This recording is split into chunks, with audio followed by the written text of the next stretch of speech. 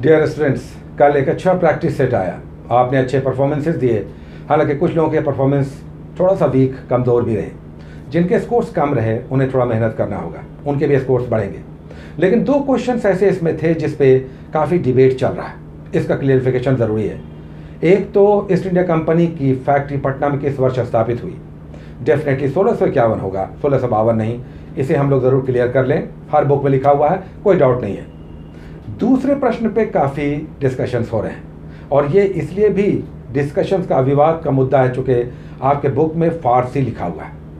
Hawkins captain Hawkins Jahangir से दरबार में किस भाषा में उसने वार्तालाप किया, बातें की और उसे प्रभावित किया, इसमें टर्की आंसर होगा।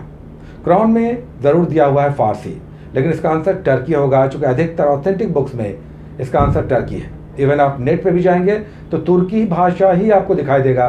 चूँकि मुगलों की मातृभाषा तुर्की थी, बाबर की आत्मकथा तुजू के बाबरी, टर्की भाषा में है, तुर्की भाषा में लिखा हुआ है।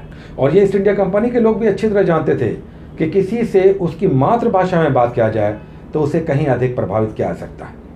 तो एनी ये सब बातें हैं, इसे आप टर्की ही माने। हमने अधिकतर सोर्सेस को खंगाला है और देखा है कि इसका आंसर टर्की ही है तुर्की है। इसे आप क्लियर कर लें, बल्कि आपके बुक में लिखा हुआ है तो आप उसे सुधार कर लें।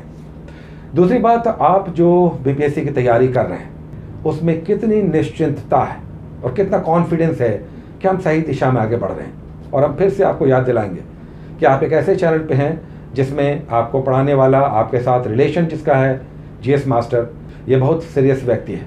आपके साथ ये सब चीज़ें जो चल रही हैं, ये एग्ज़ाम तक चलेगा।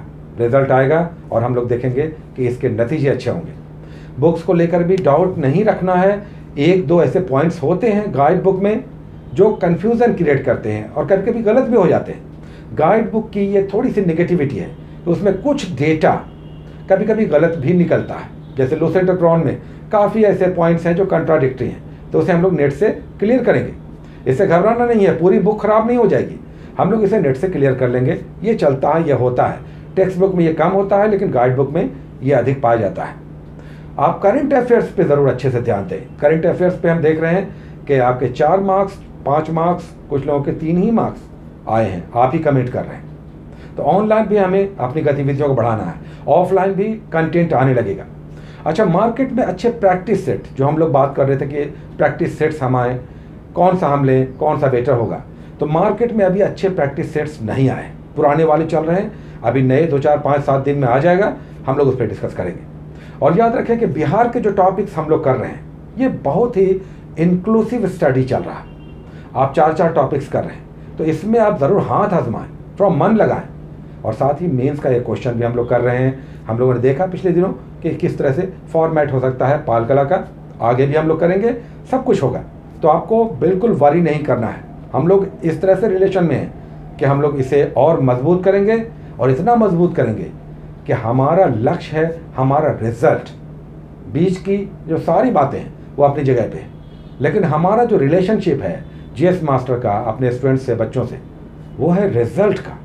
हमारी बेरोजगारी दूर हो, हमारे लक्ष्य पूरे हो, और हमारे लक्ष्य से हमारे अंदर जो ये अनिश्चितता है, ये समाप्त हो। और हमारे इर्द गिर्द जो वेल विशर्स हैं, वो इतने चिंतित हैं, उसका भी समाधान निकले। तो इन सब का ज़रूर उपाय निकलेगा। हम लोग बहुत सीरियसली ये सब लेकर चल रहे हैं और आगे भी चलते रहेंगे। अभी आपका आज का टॉपिक आ जाएगा रात 10 से 11 बजे के बीच। हम प्रयास करते हैं 10 के बीच, लेकिन एक आध घंटे के अंदर आप ये मानकर चलें 10 से 11 के बीच। साथ ही संडे को याद रखें संडे को एपिसोड नहीं आएगा।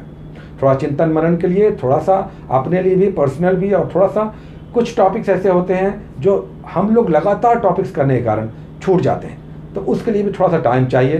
तो संडे को हम लोग टॉपिक्स नहीं करेंगे। हाँ ये अलग बात है कि अगर बहुत ज़्यादा लिबर्टी रही टाइम काफ़ी मिल गया तो हम लोग जैसे कल संडे को हम लोगों ने किया एक प्रैक्टिस सेट कुछ हम लोग कर लेंगे।